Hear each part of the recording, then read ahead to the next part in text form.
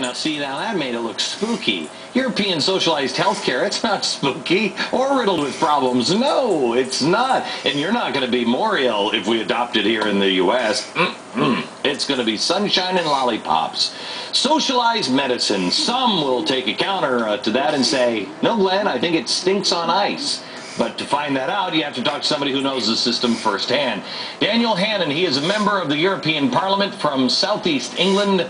Big fan, sir. Welcome. Thank you. Nice to Great have to you here. you in the flesh of love. Now, do you think you could stay and run? Uh, you can't run for president, but you know you could just run for Congress or something. You have a lot of fans here in America. Yeah, certainly. I'm a, I'm a really big fan of your constitution, and I'm a pretty strict interpretationist about it. So the You presidency is not. Uh, You are one of the only people, uh, politicians I've heard a long time, that say you're a fan of the Constitution. Not real popular right now here in America. Well, do you know, I, I'm maybe not popular among all the politicians, but Yes. look, it works. I mean, look at look at what it's delivered. It's made you rich and free and independent, Yeah. and it has driven those values to every other continent in the Yeah. world, and so that the world owes you something. Here we here we have um, a, a Congress and a president that are not listening to the American people, um, and they're not listening or reading the Constitution, and about to deliver us the universal right to medicine that is just fantastic in your com- country. Tell, me about how great universal health care is. Well, I mean, the, the most um, striking thing about it is that you are very often just sent to the back of the queue. You turn up with a complaint, with an ailment, and you're told, okay, how about uh, October of next year or whatever it is. And you're then not able to supplement uh, your treatment, your state healthcare treatment, with any private money of your own.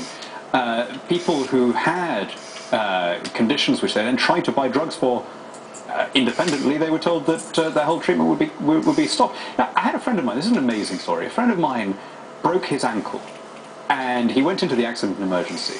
And it was a Friday night. Now, one of our national uh, traditions is that on Friday nights we all get drunk and have fights with each other. So there was a, a long, a long queue of people to get in. And he, he said, "Look, I'm in, I'm in real pain. Can I have some painkillers while I'm waiting?" And they said, "No, get to the back of the line."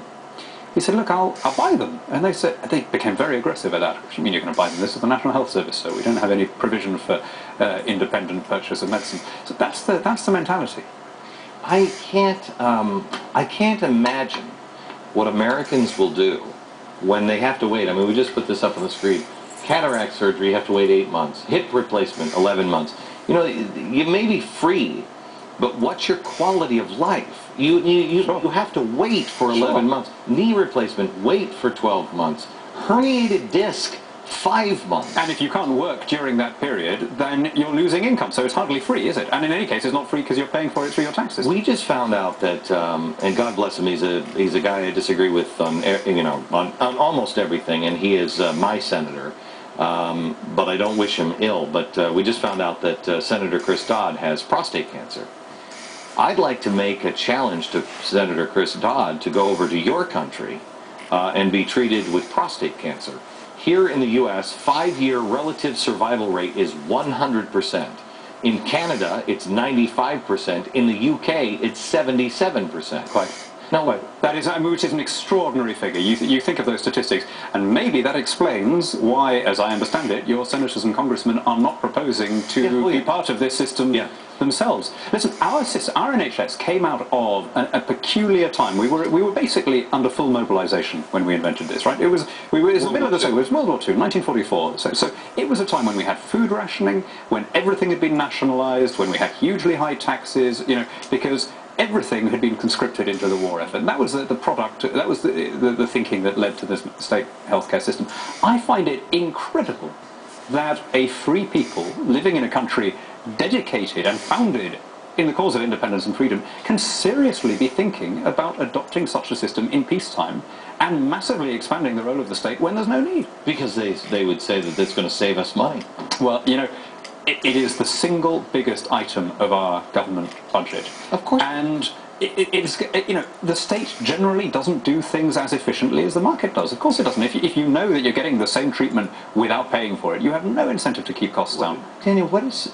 I mean, have you been? Do you follow here in America at all what's happening on the ground with our politicians? Because they're currently getting hammered um, by the people as they're coming home. These these congressmen are coming home, and I I, I hope to God, you, you, Congress, you learn from this um, because it's only going to get much much worse for you.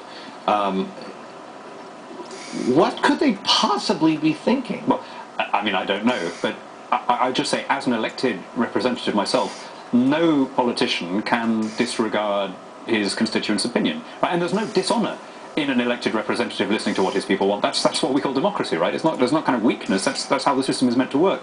So I hope that people watching this program, whichever side they're on, are going to make their views felt, and I hope that their representatives will listen to them over the summer vacation and come back. I mean, quite apart from anything else. I just wonder at a time like this how the US can afford something of this scale. I mean, maybe if things had been telling us- different. they're telling us that we can't afford not to do it. They're telling us this lie that somehow or another, if we do this, this is going to solve all of our problems with our with our debt and deficit. It's going to somehow or another we're going to save so much in healthcare. I, I can't imagine how you deny people service at a certain age for certain procedures. Do you not?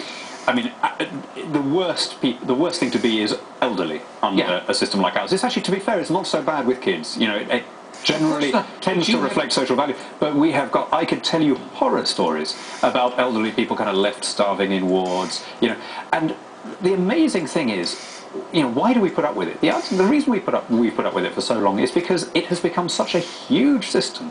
It's got such an enormous bureaucracy based Yeah. around it, right? We have 1.4 million people employed by the National Health Service. It- is the third biggest employer in the world after the Red Army in China and the Indian National Railways. Most of those 1.4 million people are administrators. The, the managers outnumber the doctors and nurses. And that is the electoral block that makes it almost impossible to get rid of. So if you do this thing, if you, and it's, you know, you're, you're going to decide it, but if you do it, don't imagine that you can come back and, and change your minds a couple of years from now. That's why I say, America, you cannot let this thing pass. You can't let any of this structure in because you think the third largest employer in, In the world. in the world.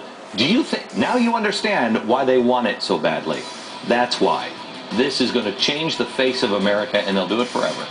Daniel, thank you very much. Thank you, Glenn. We'll be right back.